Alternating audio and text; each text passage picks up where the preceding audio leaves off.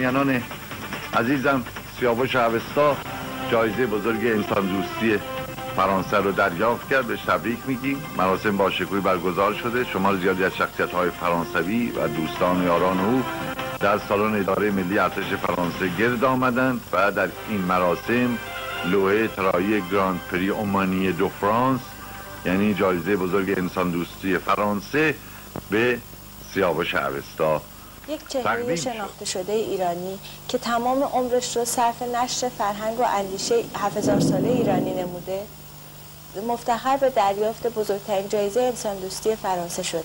یعنی جایزه گراند در گزارش ها و همچنین روی سایت های خبری متعدد راجع به جایزه انسان دوستی که به سیاوش اوستا داده شده مطالبی هست که من امروز با خورسندی و افتخار از رویداد تازه‌ای با شما سخن می‌گوییم.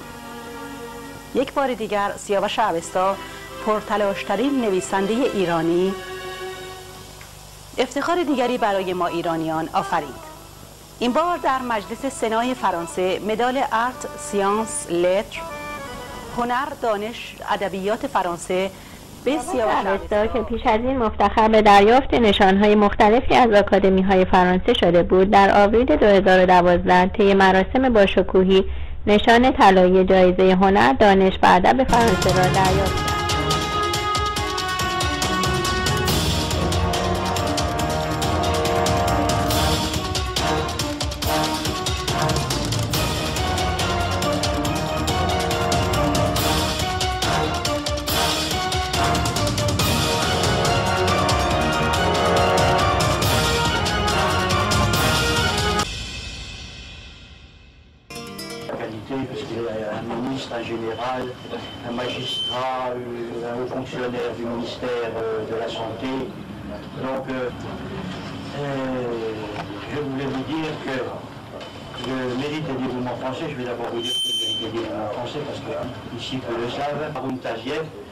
bien d'autres encore qu'il serait trop long de citer ici.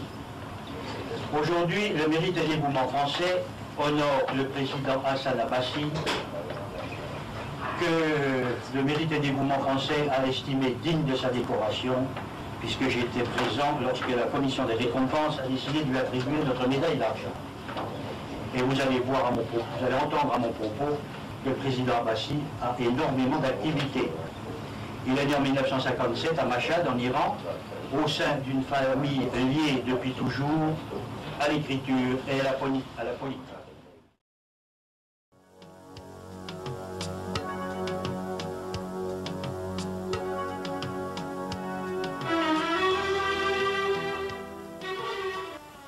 دوستان و یاران مهربان درود بر شما و روز و شبتان خوش پیش از این به آگاهی شما رساندیم که سیاوش اوستا آقای حسن عباسی لوحی طلایی جایزه بزرگ انسان دوستی فرانسه را دریافت کردند.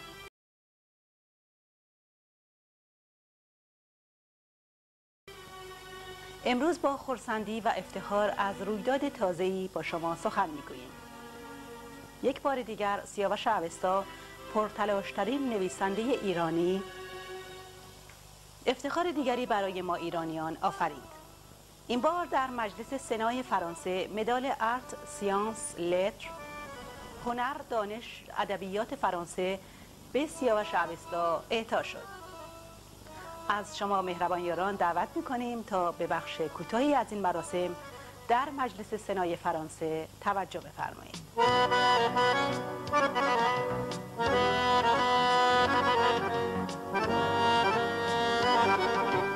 Bonsoir. Euh, si nous sommes tous réunis euh, ce soir euh, au Sénat, c'est pour fêter la remise de la distinction de la médaille de vermeil de l'Académie Arts Sciences et Lettres à notre ami commun Hassan Abbasi. L'Académie Arts Sciences et Lettres a été couronnée par l'Académie française dont elle a reçu le prix Torlet. Cette distinction reconnaît en lui le promoteur fervent de la pensée laïque qu'il qu'il fut, promoteur qu'il fut en Iran et qu'il continue à être de par le monde euh, dans le cadre de ses très nombreuses activités. Il est né en Iran, euh, je vais donner la date, euh, à Machad le 23 juillet 1957. Alors, notez bien la date de son anniversaire, euh, à tout hasard. Dès l'âge précoce de 14 ans, ses pamphlets émaillent les pages des journaux iraniens. Je pense qu'il nous dira tout à l'heure euh, comment euh, il a pu communiquer avec les journaux euh, iraniens et probablement par l'intermédiaire de sa famille qui était en politique depuis longtemps. Il verse dans le théâtre, réalise plusieurs courts-métrages et à 17 ans, il écrit et publie son premier ouvrage, Les ridicules de notre cité. Ce qui montre un peu euh, l'esprit pamphlétaire euh, qu'il pouvait avoir à 14 ans, s'est perfectionné euh, pour arriver à l'homme que nous connaissons aujourd'hui et qui toujours est derrière les idées de liberté, de fraternité, d'égalité, de laïcité euh, qui sont chères à notre République. À l'âge de 22 ans, il diffuse son propre journal, euh, Ershad, ce qui veut dire conscience. Malheureusement, après deux ans de vie, son journal est interdit en 1981.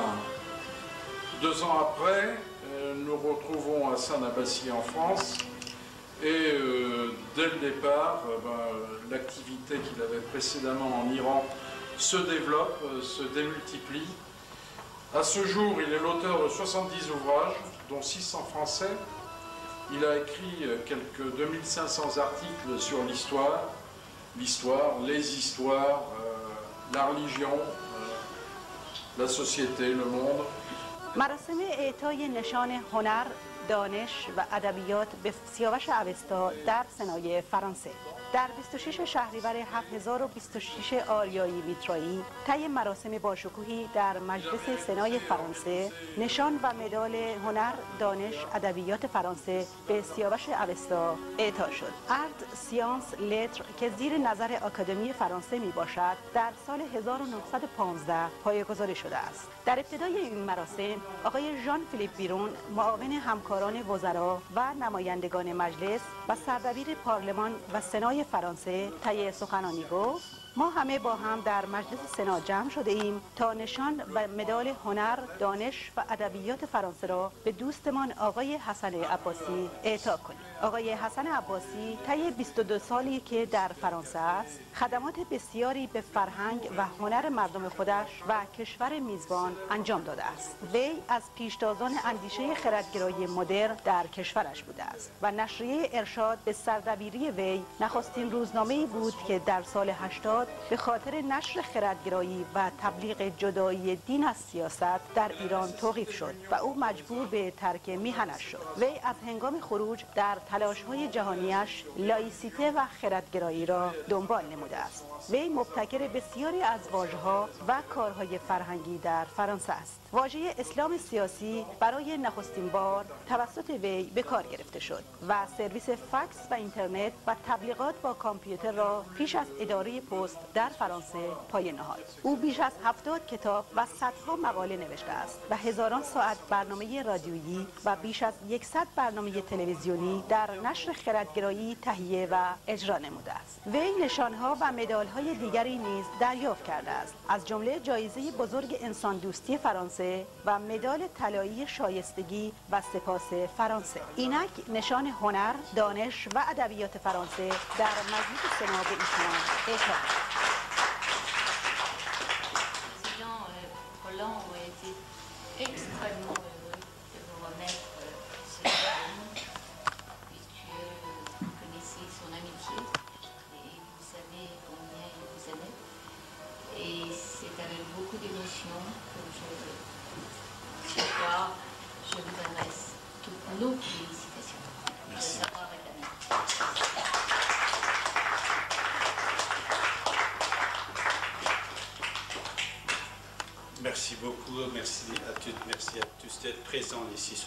C'est vrai, peut-être ils viennent de nous rappeler un très très cher ami qui a été très très cher ami pour nous tous, euh, euh, Roland Aria, qui n'est plus parmi nous depuis déjà plus d'un an.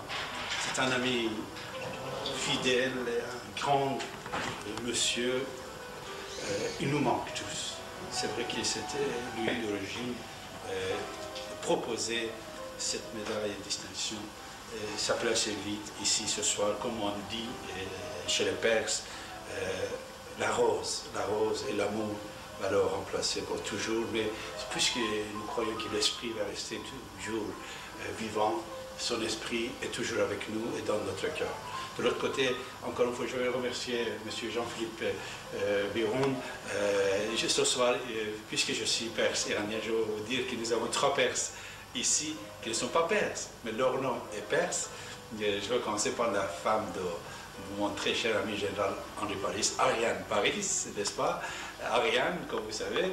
Alors, euh, Odette Aria, déjà, euh, j'a- j'avais rassemblé beaucoup de documentation pour le président Aria. Aria, comme vous savez, il y en a beaucoup de noms, prénoms Aria. Euh, c'est le peuple iranien. Iran, ça veut dire Ariane. Iran, Ariane, c'est la même chose, c'est la prononciation change. Spécialement remercier Odette Aria, et que tout ce que vous voyez ce soir, c'est grâce à elle. Et bien sûr, on a dit son mari, Roland Aria, qui n'est plus parmi nous.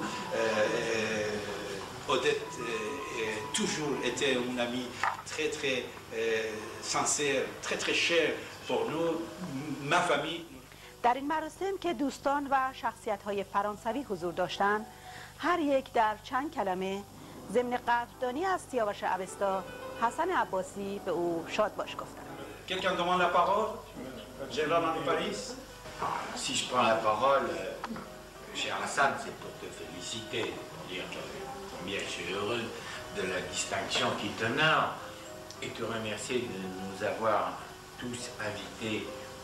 à cette cérémonie qui nous honore aussi.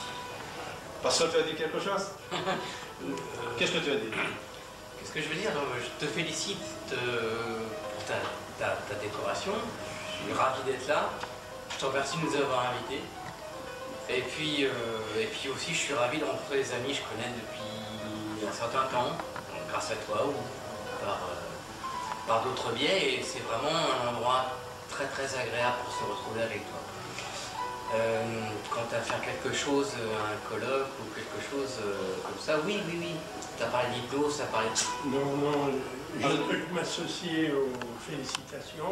Je ne veux pas prolonger. Et je suis solidaire de, de tout le monde pour te féliciter. Tu sais, je t'embrasse. et Nous aurons d'autres occasions de nous retrouver. Merci Roger. Voilà, on va commencer à manger, mais je crois que deuxième Roger, notre artiste de cinéma, va dire. Euh, J'ai pas grand chose à dire, mais d'abord, tout d'abord, cette médaille arrive un tout petit peu tard pour toi, mais c'est quand même grâce à notre ami Roland Aria, notre ami commun, qui n'est pas là aujourd'hui, mais nous pensons tous à lui. Et bravo à toi pour cette médaille. Merci Roger. Frédéric, tu as dit un mot Président de collectif Respect, Frédéric Barr. Cher Hassan, je te félicite moi aussi, je me, joins à ce concert de louanges pour te dire effectivement c'est amplement mérité au regard de la brillante carrière euh, qui est derrière toi et devant.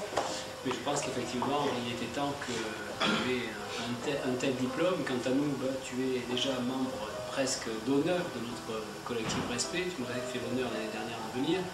Tu sais que là nous préparons pour le 4 décembre un autre colloque sur le respect de l'autre et la lutte contre le communautarisme qui se tiendra à l'Assemblée nationale. Tu- je pense que tu y interviendras cette année. Et donc j'aurai plaisir à faire. Marie, à sa donne. félicite je suis très fière d'être iranienne aujourd'hui et de pouvoir accepter cette médaille, cette, euh, cet honneur. Merci Marie. Merci.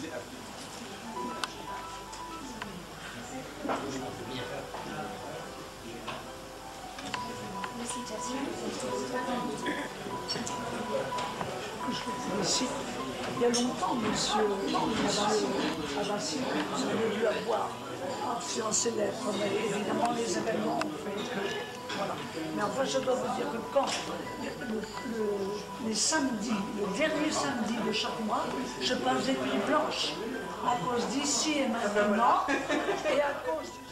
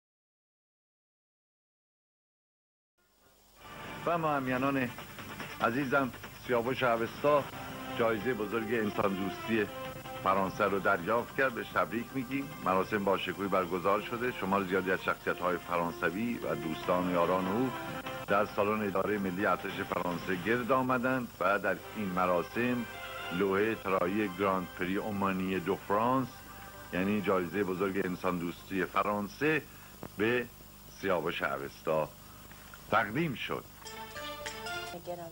درود بر شما. در ابتدای سال 2004 میلادی اتفاق بسیار بزرگی در پاریس روی داد. یک چهره شناخته شده ایرانی که تمام عمرش رو صرف نشر فرهنگ و اندیشه 7000 ساله ایرانی نموده مفتخر به دریافت بزرگترین جایزه انسان دوستی فرانسه شد. یعنی جایزه گران پری اومانیته دو فرانس. جایزه انسان دوستی فرانسه در سال 1982 یعنی نزدیک به 112 سال پیش در فرانسه پایگذاری شد و شامل مدال برونز، مدال طلا و لوحه طلایی که لوحه طلایی اون امسال به دکتر حسن عباسی سیاوش اوستا تعلق گرفته. این جایزه هر سال به کسانی تعلق می‌گیره که کارهای بزرگی در زمینه فرهنگ آقای دکتر حسن عباسی با که اسم مستعارشون حتما آشنا هستید سیاوش اوستا جایزه بزرگ گراند پری اومانیته یا جایزه بزرگ انسان دوستی فرانسه رو جایزه تلاش رو دریافت کرده. وقتی من خوشحال شدم از این خبر تلفنی باش صحبت کردم و بهش تبریک بگم. به من یادآوری کرد فورا مثل که خودش حساسیت خاصی در این مورد داره گفتش که قبل از هر چیز بگم که این جایزه از سال از 112 سال پیش توسط استادان دانشگاه سوربن در فرانسه پایگذاری شده و به هیچ وجه جنبه دولتی و سیاسی نداره. بر تقدیر در گزارش ها و همینجوری روی سایت های خبری متعدد راجع به جایزه انسان دوستی که به سیاوش عوستا داده شده مطالبی هست که من فقط از یکی از اونها براتون نقل می‌کنم که رئیس کمیته گزینش هنگام اعطای این جایزه به سیاوش عوستا گفت حسن عباسی در سال 1957 در شهر تاریخی مشهد در ایران چشم به جهان گشوده و از 21 سال پیش برای رهایی جانش به فرانسه آمده. و تا کنون بیش از 60 جلد کتاب نوشته که تعدادی از آنها به فرانسه ترجمه شده است. که اصولا به فرانسه است. به برنامه های دیدنی رادیویی و تلویزیونی بسیار شنیدنی تهیه نموده است. حال تلویزیونی چرا باید بسیار شنیدنی باشه؟ شاید به همین برنامه های تلویزیونی ما توجه کردن دارن. اشاره می‌کنن چون بایستی که تلویزیونی دیدنی باشه.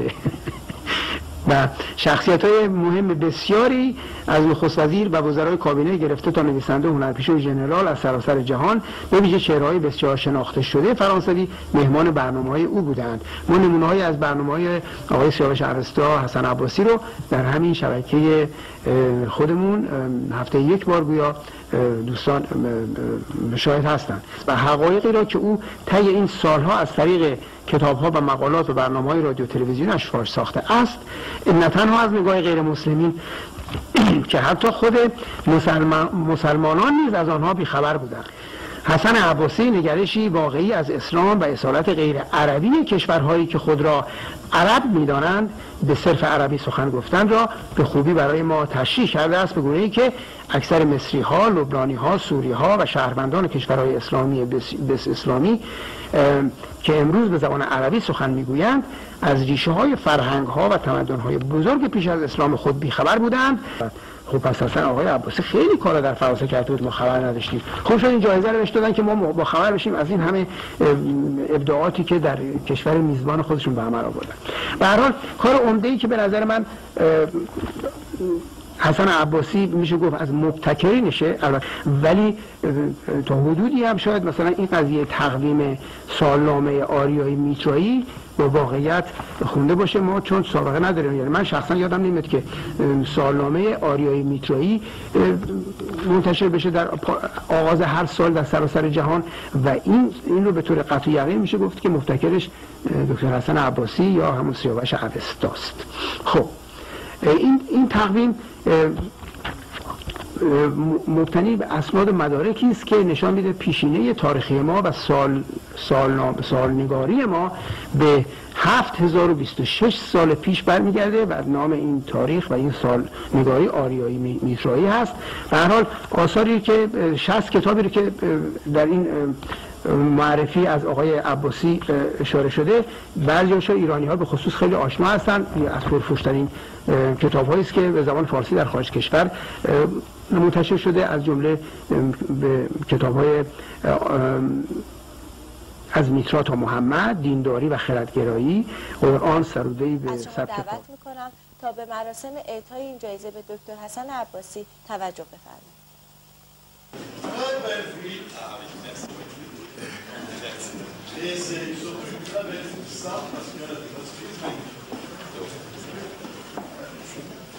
Vous êtes dans la noblesse iranienne, votre père était le chef Abbas, historien et islamologue. Vous êtes historien et écrivain. Il y a des. Là, on ne va pas s'en Vous êtes chez nous depuis 1984. Vous êtes le fondateur du premier point Internet en libre service en 1994.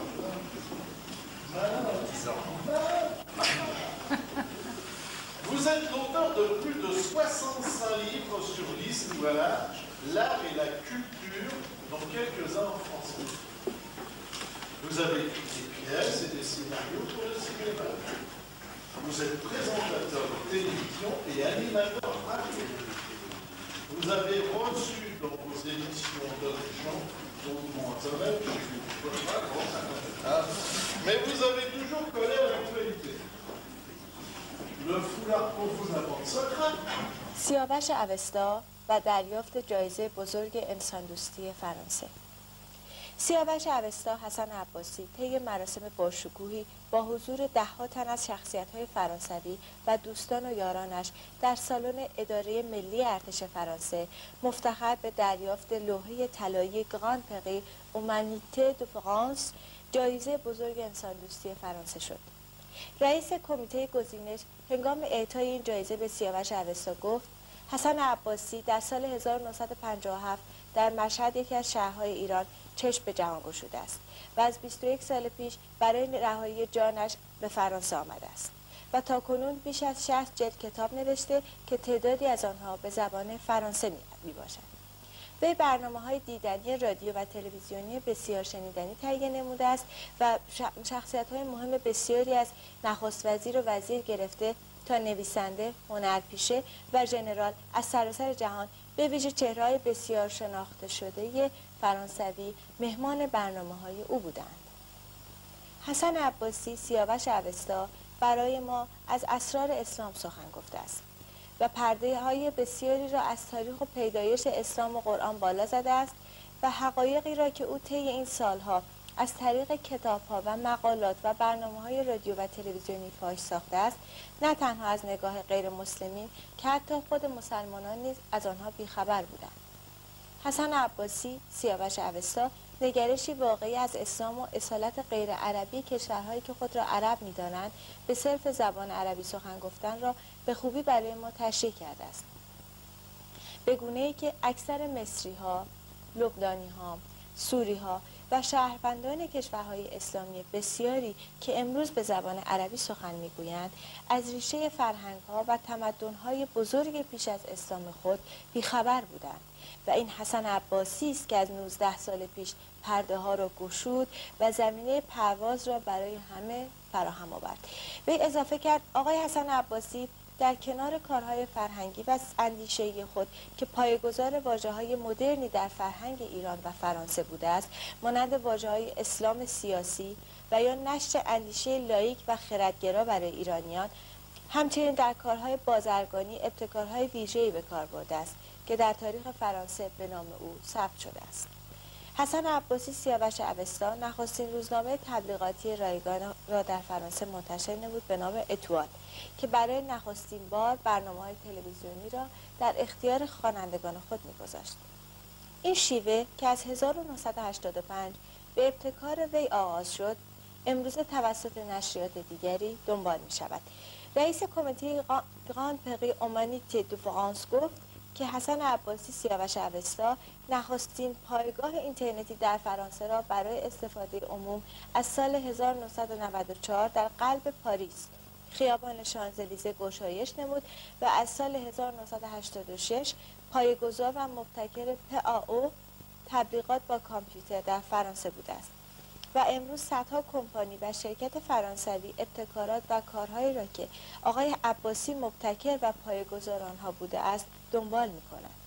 رئیس کمیته گراند پری اومانیته دو فرانس در ابتدای این مراسم آنگاه که از مشهد زادگاه حسن عباسی یا سیاوش اوستا سخن می گفت تصویری از مشهد را به عنوان هدیه سمبولیک به او پیشکش نمود و گفت این جایگاه پیش از اسلام آتشگاه ایرانی و به قولی معبد زرتشت بوده که پس از اسلام به آرامگاه امام رضا تغییر یافته است لوحه طلایی جایزه بزرگ انسان دوستی فرانسه توسط هنرپیشه مشهور فرانسوی قوژه توتانیا به حسن عباسی سیاوش اوستا پیشکش شد.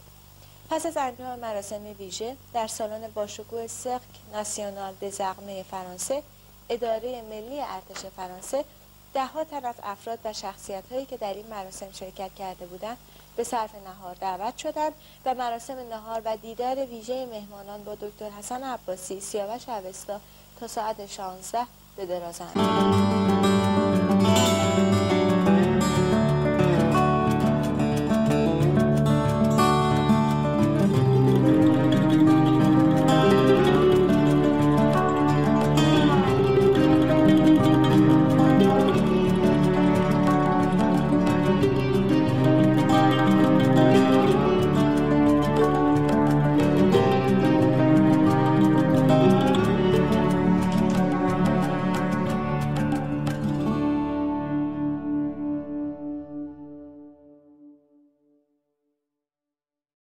avril 2012, le médaille d'or d'art, sciences, lettres a été décerné à M.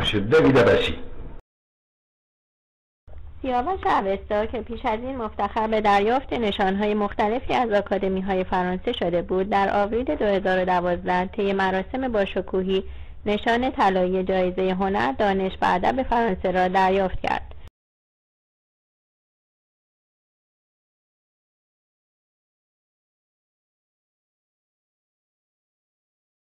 رئیس مراسم با شور و هیجان بسیار گفت آکادمی ما مفتخر است که به خاطر تلاش های ادبی و نوشتاری و تاریخی دیوید عباسی سیاوش اوستا نشان طلایی هنر دانش و ادب فرانسه را به ایشان اعطا کند.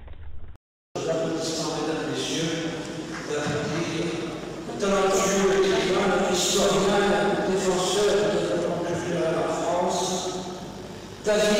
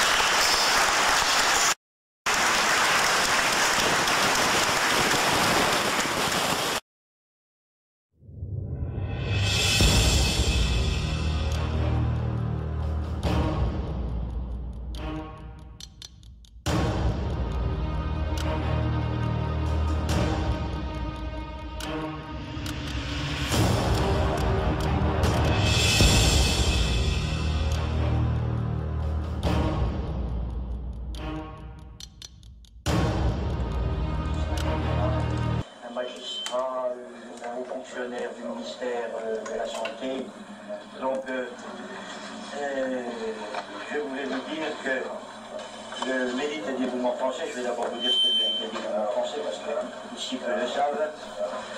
Le mérite et dévouement français a été créé en 1957 par M. Raoul Pierre.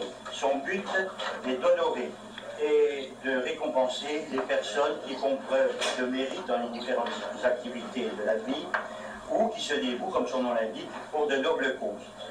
C'est ainsi que de très hautes personnalités ont reçu notre grande médaille d'or.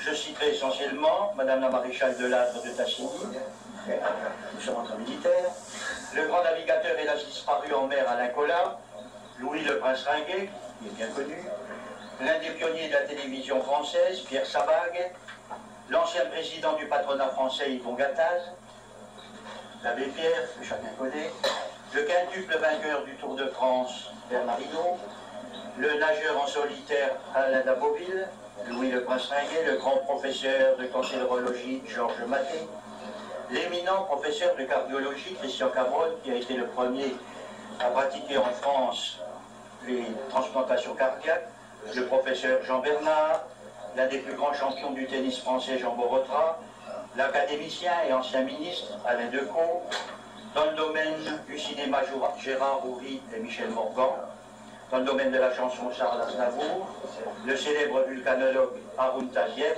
et bien d'autres encore qu'il serait trop long de citer ici. Aujourd'hui, le mérite et dévouement français honore le président Hassan Abbasi, que le mérite et dévouement français a estimé digne de sa décoration, puisque j'étais présent lorsque la commission des récompenses a décidé de lui attribuer notre médaille d'argent. Et vous allez voir à mon propos, vous allez entendre à mon propos le président Abbasi a énormément d'activités. Il est né en 1957 à Mashhad, en Iran, au sein d'une famille liée depuis toujours à l'écriture et à la, politique.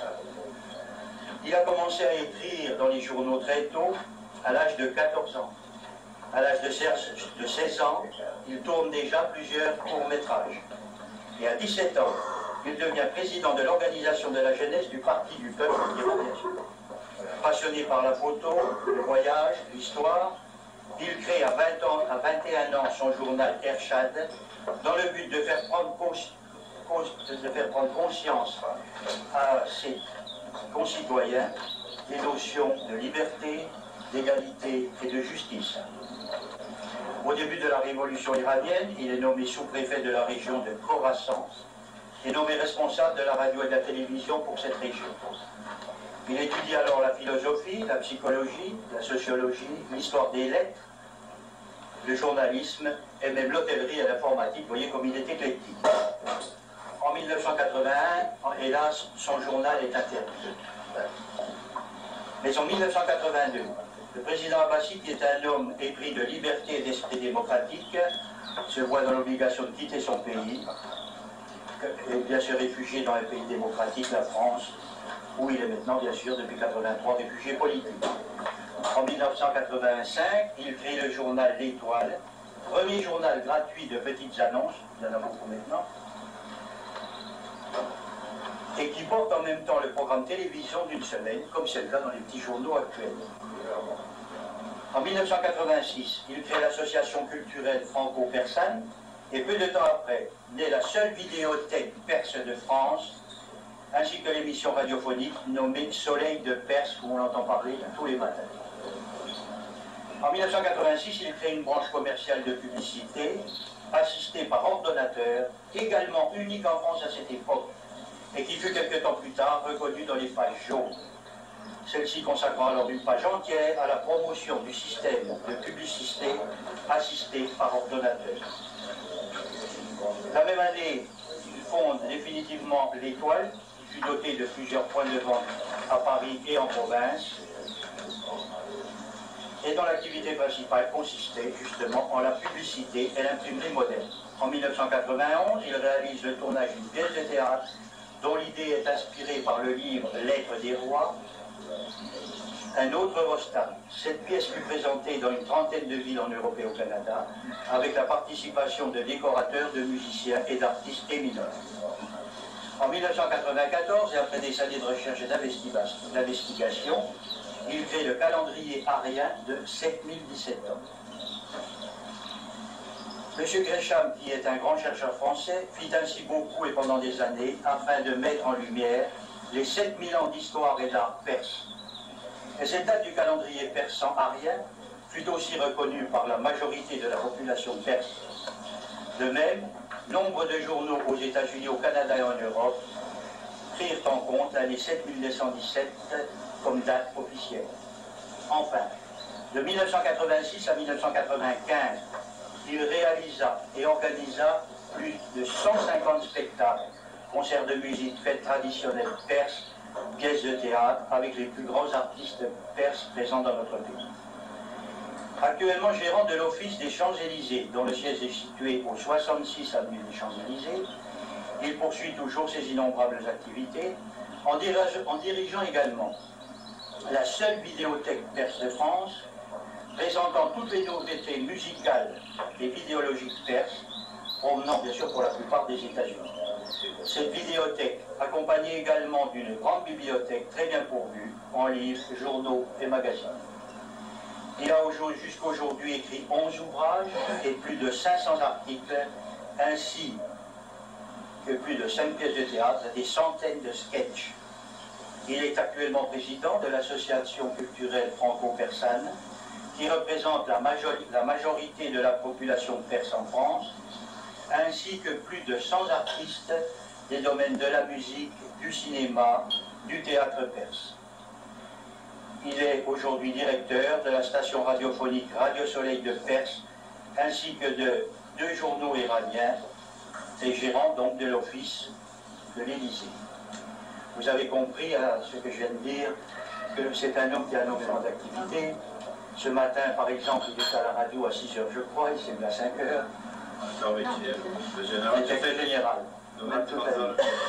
Donc c'est un monsieur extrêmement méritant et je suis ravi de lui remettre maintenant en votre présence, mesdames, messieurs, chers amis, la médaille des dévouements français.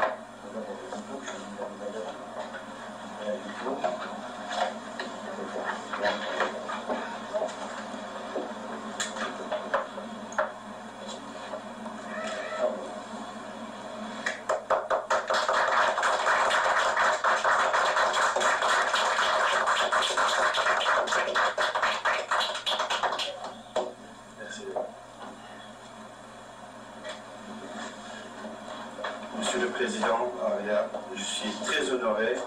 Je vous remercie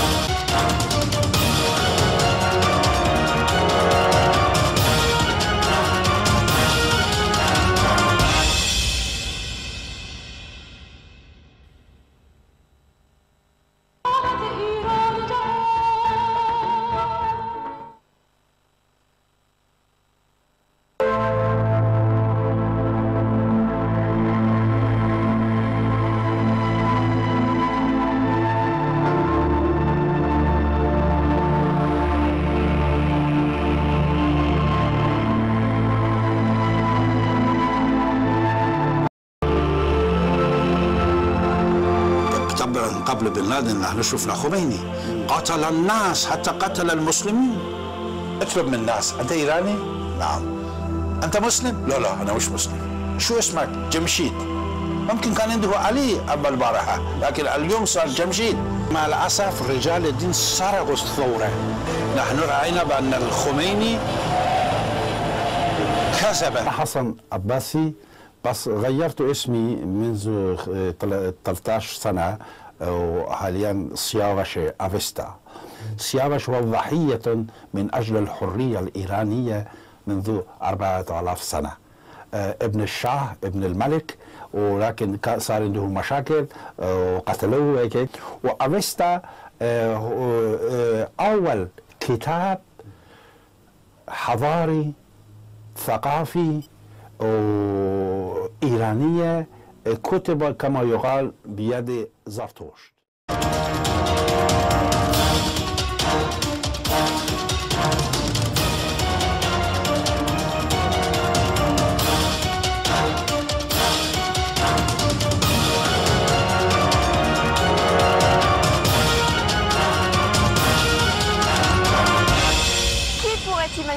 Y avait ici des marécages, c'était au XVIIe siècle. Bonjour à tous, les Champs-Élysées sont aujourd'hui considérés comme la plus belle, la plus chère du monde en matière d'immobilier commercial.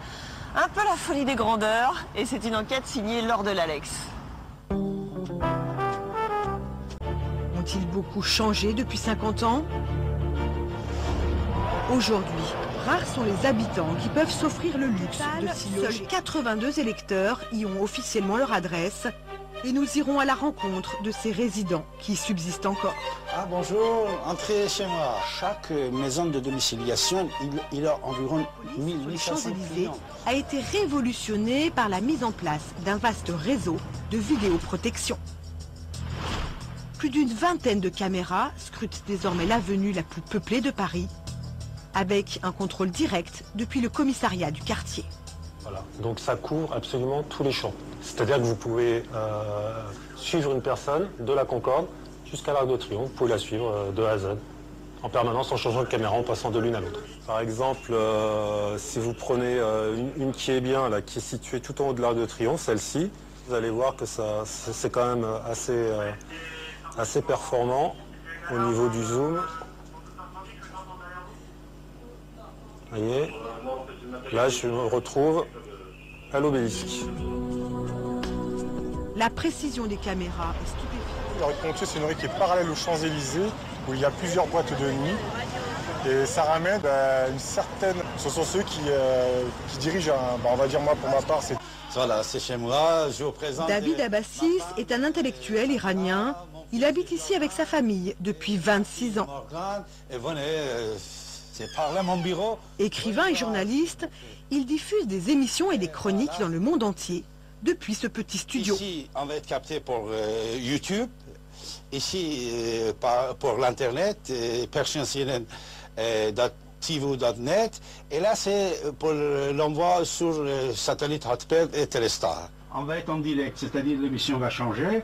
Vous voyez, euh, on peut euh, régler l'image comme on veut. Voilà. Bonjour mes chers amis. À son actif, près de 5000 heures d'émissions sur des chaînes culturelles et laïques. Pour garder notre laïcité en France.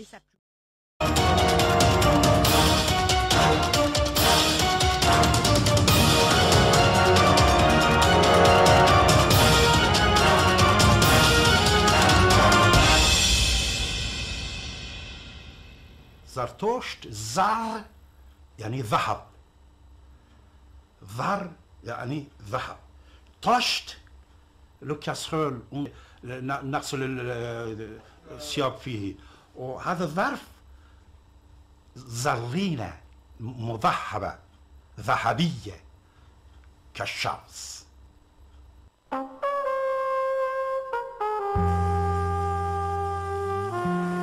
أنا كان عندي علاقات مع ابنه موجودة حاليا حكينا معا بعثنا رسائل وسألته قلت آية الله منتظري.